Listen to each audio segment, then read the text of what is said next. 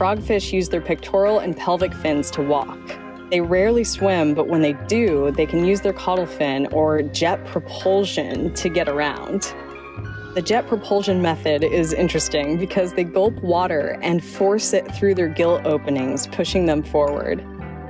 I think most people haven't seen frogfish jetting around, so I just wanted to throw in some footage from Komodo to uh, show how ridiculous it looks. It's awesome.